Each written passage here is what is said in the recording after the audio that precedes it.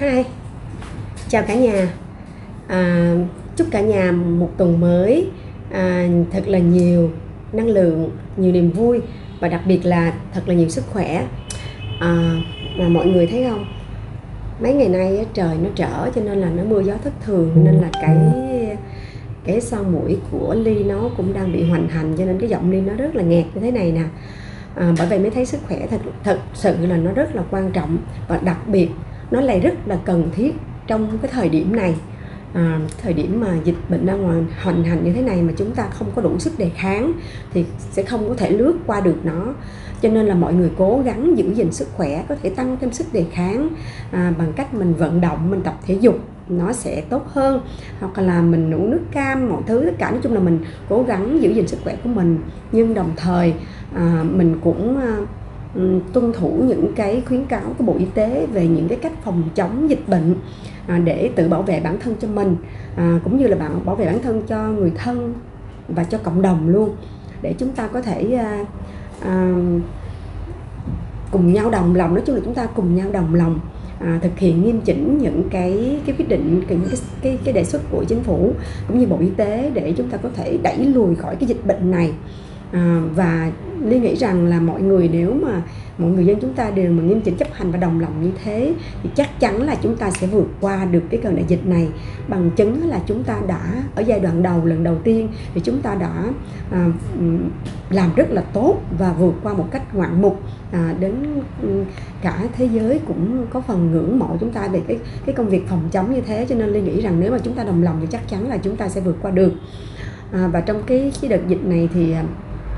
Đà Nẵng là là nơi mà uh, coi như là bị nặng nề nhất. Và Đà Nẵng ngoài những cái món ăn đặc sản ngon ra nổi tiếng thì cũng có rất là nhiều những danh lam thắng cảnh rất là đẹp. Ừ, cho nên là nó là một địa điểm du lịch rất là tốt luôn đó. À, rất là nhiều người rất là muốn đến đấy. À, cho nên là trong cái gặp cái hoàn cảnh khó khăn như vậy thì à, à mọi người cả nước đều à, hướng về và rất là à, ủng hộ tinh thần cho người dân Đà Nẵng của mình à, để có thể vượt qua được cái cái cái khó khăn trong cái thời gian này. Và nếu mà nói đến đó thì phải thực sự là ừ, cảm ơn rất là cảm ơn tri ân đến những người ở tuyến đầu là và cả những đội, đội ngũ y bác sĩ cả những chú bộ đội những anh bộ đội à, đã rất là cực khổ và hy sinh rất nhiều à, để chúng ta mới có được một mà, sự yên bình như thế. Uhm, và để tiếp thêm một chút động lực cho người dân Đà Nẵng của mình thì à, hôm nay Ly muốn gửi đến à, tất cả mọi người một ừ, ca khúc. Và ca khúc này là do một nhạc sĩ à, là một nghệ sĩ ưu tú một người con của Đà Nẵng à, đã sáng tác ra đó là à, nhạc sĩ Nguyễn Đình Thậm à, bài hát được mang tên là Đà Nẵng mến yêu. Và hôm nay Lê sẽ định gửi tới à, cho tất cả mọi người và hy vọng rằng nó cũng là một chút động lực gì đó tiếp thêm sức cho người dân Đà Nẵng của mình cố gắng để vượt qua cơn đại dịch này. À, bài hát này thì Cẩm Ly sẽ trình bày ở phần đầu. À, và ở nửa bài sau nó sẽ có một cái đoạn beat karaoke. Mà mọi người có thể cùng nhau hát với Cẩm Ly. Và à, à, ủng hộ Đà Nẵng cố lên cố lên chúng ta sẽ vượt qua và Việt Nam chúng ta sẽ trở lại một cuộc sống bình thường an bình như đã từng Cảm ly một lần nữa thì xin kính chúc tất cả quý vị là thật là nhiều sức khỏe, nhiều niềm vui và hạnh phúc trong cuộc sống nhé.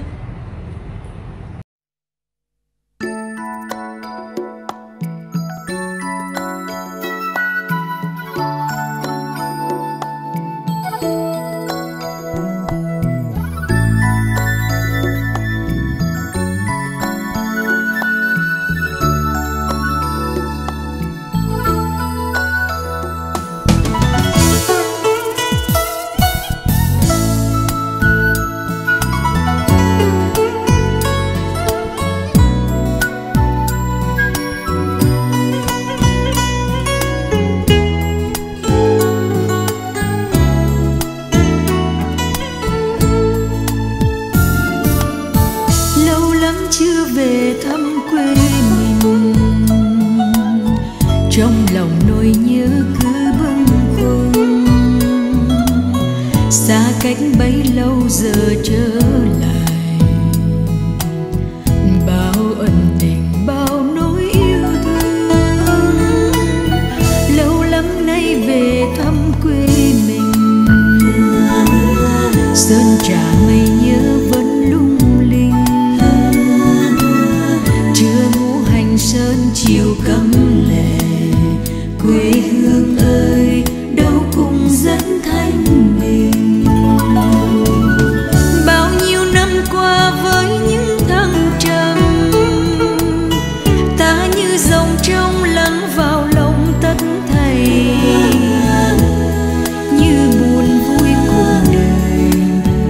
casar.